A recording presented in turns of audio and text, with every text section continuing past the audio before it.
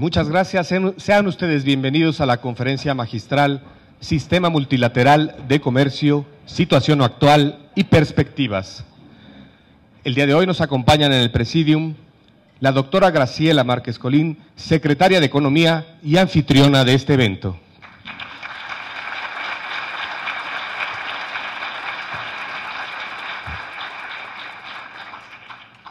Nos honra con su presencia el señor Roberto Azevedo, director general de la Organización Mundial del Comercio.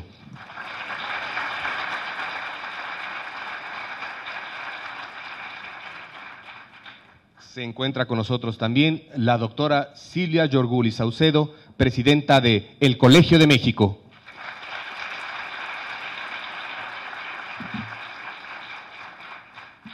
También se encuentra con nosotros la doctora Luz María de la Mora Sánchez, subsecretaria de Comercio Exterior.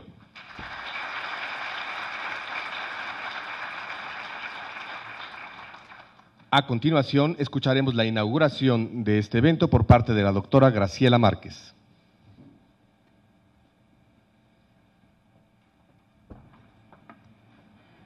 Muy buenos días a todos y, todas. Eh, muy grato darles la bienvenida a todos ustedes a lo que es nuestra casa y es su casa, la Secretaría de Economía. Saludo con gran respeto a todos los miembros del Presidium, el señor Roberto Acevedo, director general de la Organización Mundial del Comercio, la doctora Silvia Yorguli, presidenta del Colegio de México, la doctora Luz María de la Mora, subsecretaria de Comercio Exterior, autoridades que nos acompañan, académicos, estudiosos de las relaciones comerciales, miembros de la sociedad civil, empresarios, señoras, señores, amigos todos. Bienvenidos nuevamente. El viernes, el viernes 25 de julio de 1986, México firmó su adhesión al Acuerdo General sobre Aranceles y Comercio GATT, antecedente de la Organización Mundial del Comercio. Desde aquel momento, nuestro país se sumó a los esfuerzos encaminados a la consolidación de un sistema multilateral de comercio, cuyos propósitos, establecidos en 1947, deben seguir motivando nuestra toma de decisiones. Hablo de los objetivos de alcanzar mejores niveles de vida, promover el aumento de la producción, asegurar la creación de mayores y mejores empleos, así como combatir la pobreza.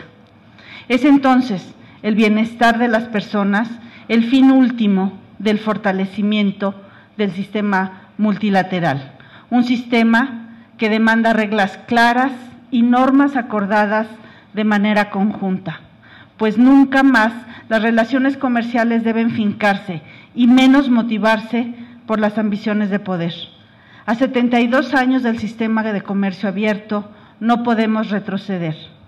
Los retos del presente no deben llevarnos a buscar falsas soluciones en un pasado que supuso barreras al intercambio de bienes y servicios. Las medidas y contramedidas restrictivas y el proteccionismo encubierto no son opciones para nosotros. Tampoco podemos caer en la tentación de las imposiciones recíprocas y menos en las prácticas desleales. El mundo global precisa de colaboración, coherencia, facilitación y eliminación de todo trato discriminatorio, en materia de comercio internacional. Por ello, debemos dar pasos firmes que permitan consolidar los mecanismos de solución de controversias, pues es solo a través de las instancias oficiales y, de procedimientos legales y transparentes que podremos solventar las disputas comerciales entre los socios. Debemos evitar cualquier tipo de trato preferencial, privilegio y comportamiento ventajoso, para así asegurar el trato justo que derive en oportunidades para el impulso de la economía. Siempre tendremos diferencias, pero no podemos dirimirlas mediante decisiones unilaterales que atentan contra muchos años de esfuerzos compartidos. Necesitamos fortalecer el sistema abierto, pues este mecanismo es el que permitirá corregir los desequilibrios y las desigualdades, para lograr así el crecimiento armonioso de la economía global, uno que sea compatible con el desarrollo sustentable, un crecimiento que otorgue mutuas ventajas a las naciones y que reduzca la brecha entre los pequeños y los grandes actores que participan en los flujos del comercio. El siglo XXI nos exige ser sensibles y receptivos frente a los temas agrícolas y pesqueros.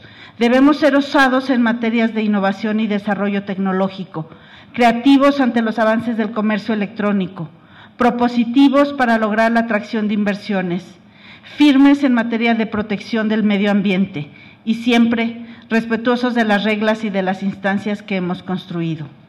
No podemos enfrentar los riesgos con temor, con barreras y obstáculos, con amenazas proteccionistas.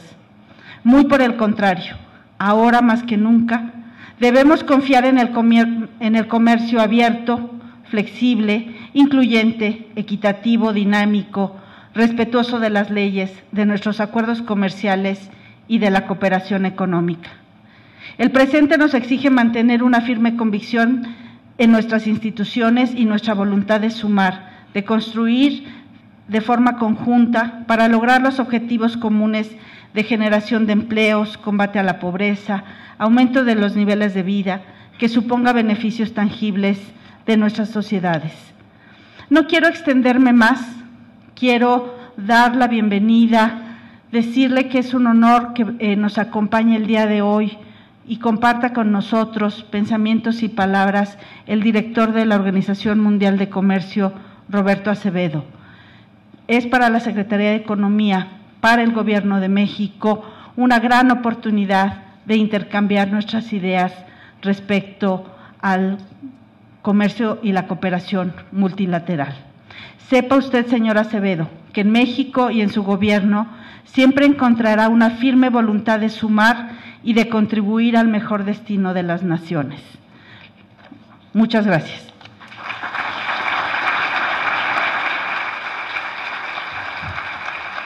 Agradecemos a la secretaria de Economía sus palabras y a continuación escucharemos la conferencia magistral del señor Roberto Acevedo, Sistema Multilateral de Comercio, Situación Actual y Perspectivas.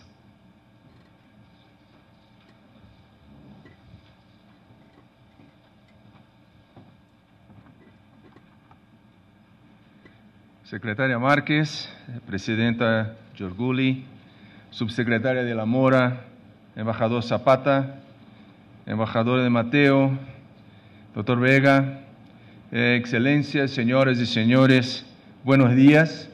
Es una gran satisfacción para mí estar en México, tener esa oportunidad de dirigirme a ustedes. Muchas gracias por la amable invitación. La última vez que visité México fue en 2014.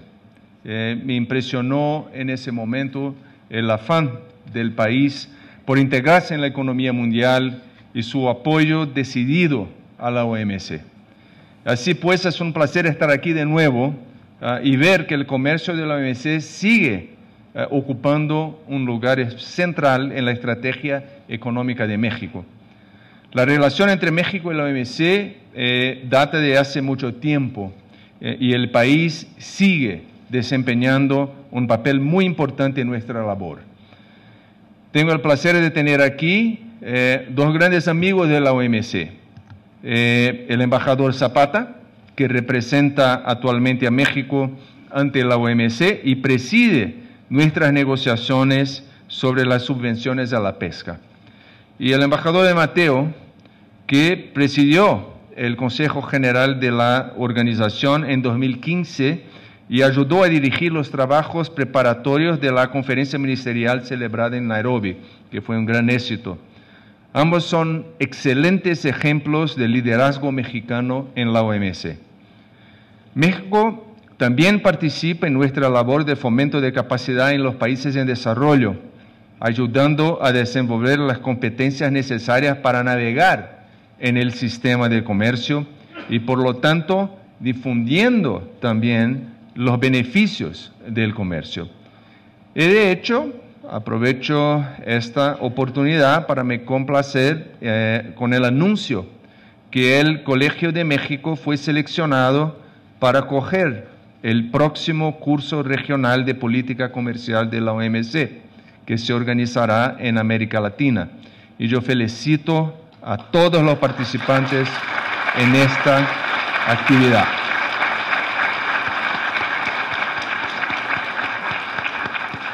Felicitaciones al Colegio de México. No cabe duda, en mi opinión, de la importancia que México atribuye a la labor de la OMC.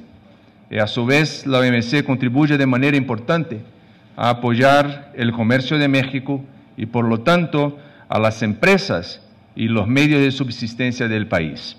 Para México es importante que exista un sólido sistema de comercio basado en normas, porque el comercio ayuda a reducir los precios en las tiendas y permite ofrecer una mayor selección de productos en beneficio, por supuesto, del consumidor. El comercio contribuye a generar puestos de trabajo. El comercio crea oportunidades para la venta de bienes y servicios en el extranjero y actualmente México es uno de los 10 principales exportadores de productos manufacturados del mundo. Y el comercio ayuda a sí mismo a promover un crecimiento económico más sólido y más estable, más previsible de largo plazo. Y para que nos hagamos una idea, las exportaciones representan cerca de 20% del PIB de México. El país necesita estar conectado, necesita estar conectado a los mercados mundiales. Así que es muy positivo ver que el comercio es un elemento importante del programa de trabajo del gobierno.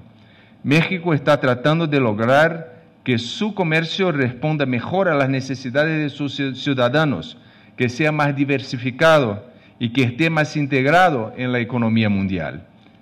Esta mañana, recién, uh, tuvo la ocasión de reunirme con el presidente López Obrador, quien ha subrayado la importancia de que México esté bien integrado con sus países vecinos y con el resto del mundo.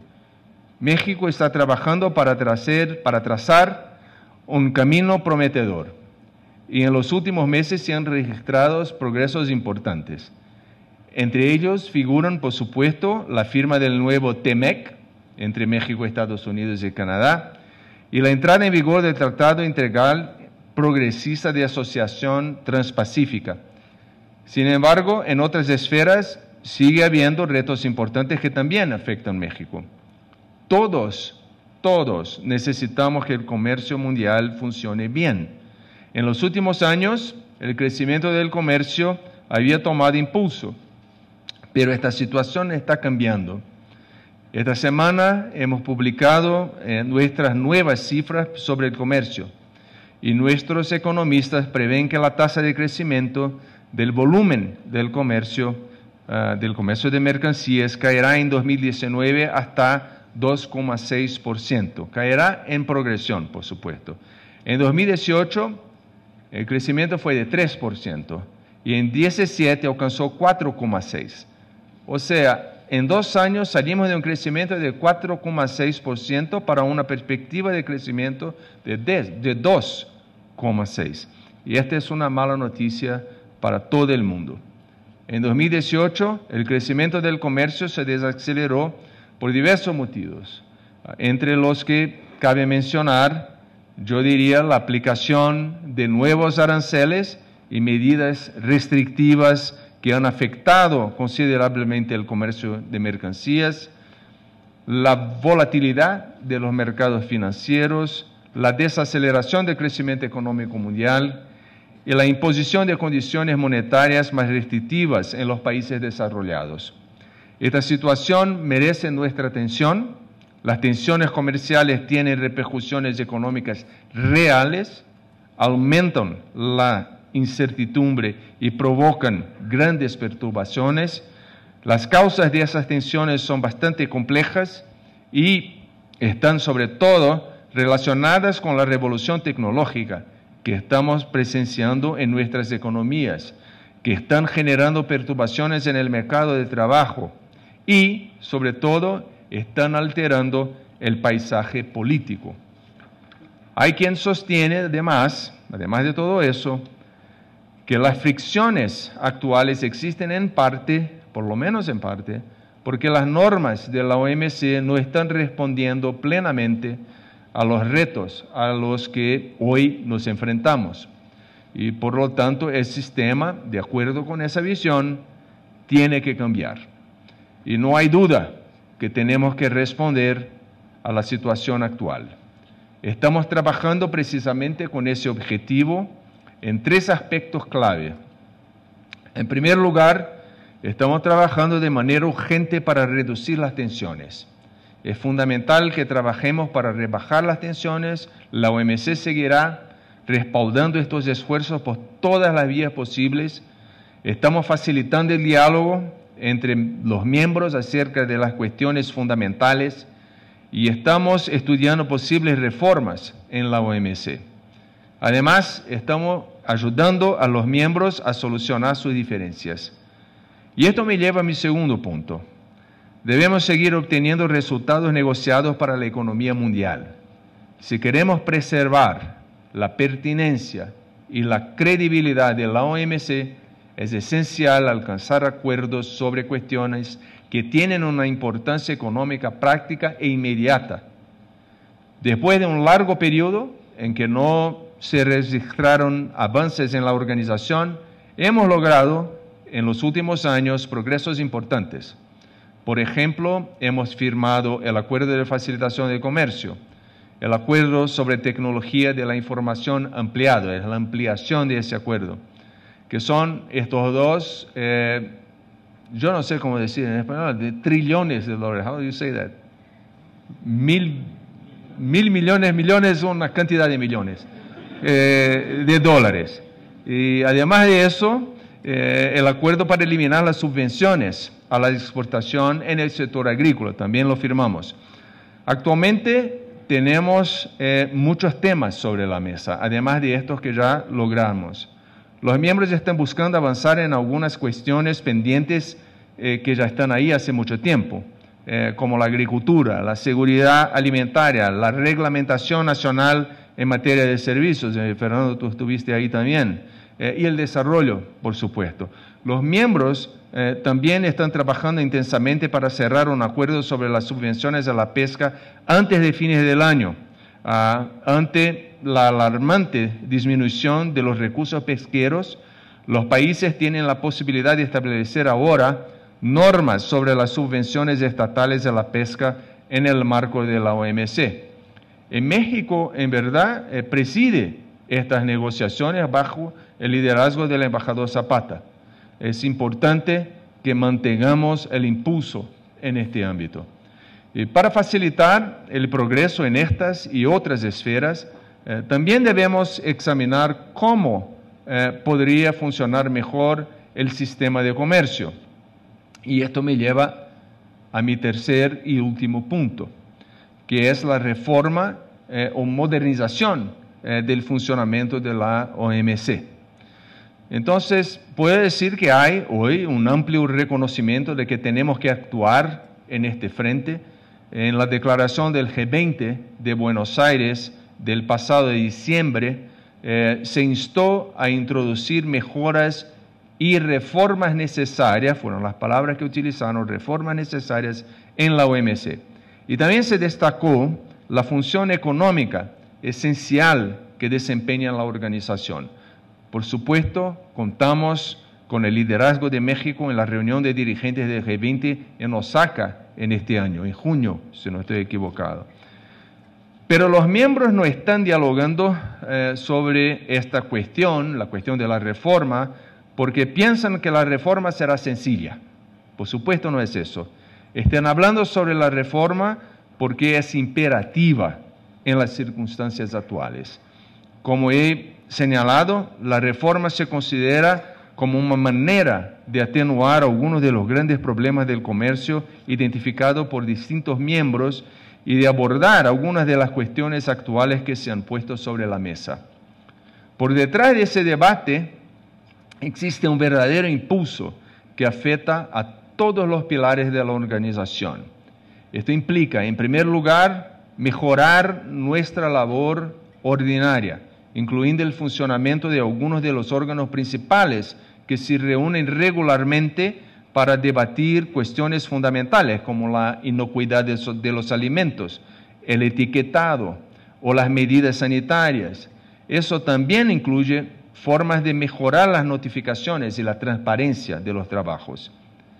En segundo lugar, resolver los problemas del órgano de solución de diferencias. Urge especialmente encontrar una solución respecto al órgano de apelación, ya que es absolutamente esencial para el funcionamiento del sistema. Y en tercer lugar, agilizar nuestros procesos de negociaciones. Una de mis principales preocupaciones en el que el debate eh, siga siendo práctico.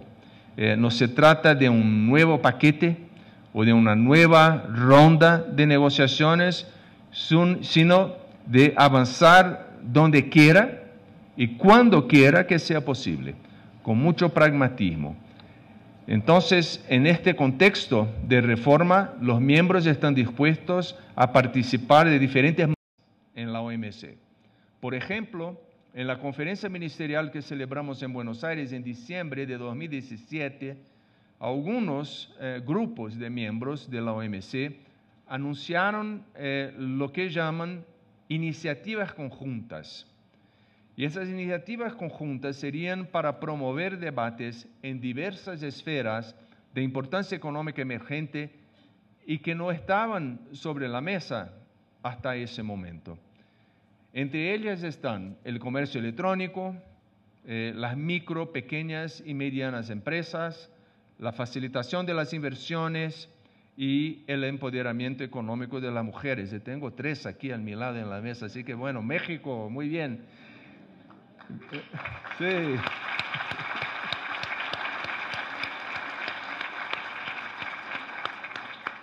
Muy bien, y México participa en todos estos eh, diálogos. Estas cuestiones tienen una importancia de primer orden para la economía mexicana.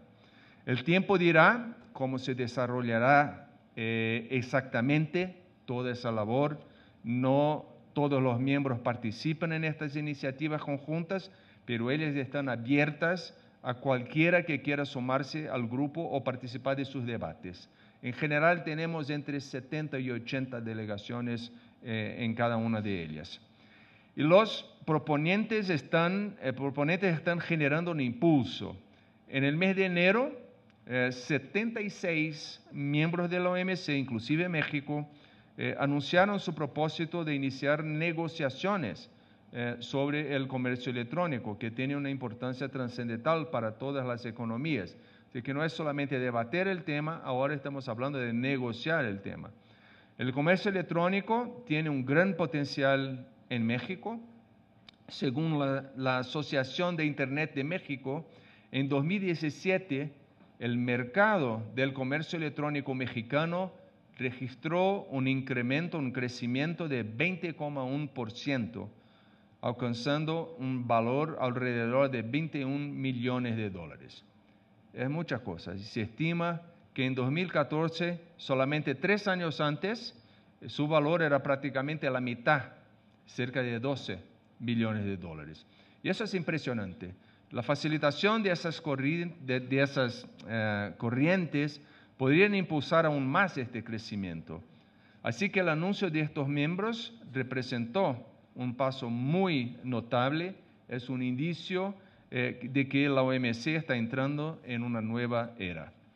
Hay una verdadera ambición detrás de algunas de las cuestiones que he mencionado hoy y los miembros están estudiando qué se podría lograr en la siguiente conferencia ministerial que celebraremos en el próximo año, en junio del próximo año, en Kazajstán. Para concluir, eh, el éxito en cualquier frente dependerá de nuestra capacidad para evolucionar, para ser flexibles, para ser creativos. El mundo necesita al sistema de comercio para tener éxito. No nos queda otra que, que evolucionar. Sin un sistema de normas mundiales sobre comercio que funcione bien, todos perderíamos. Sería la ley de la selva. No podemos permitirnos el lujo de ir por ese camino. Actualmente nos enfrentamos a grandes retos, pero también tenemos la oportunidad de asentar el sistema comercial sobre una base más sólida para los próximos años. Será una satisfacción muy grande para mí trabajar con México en esta dirección y construir el sistema de comercio sólido y vibrante que todos deseamos. Muchas gracias una vez más.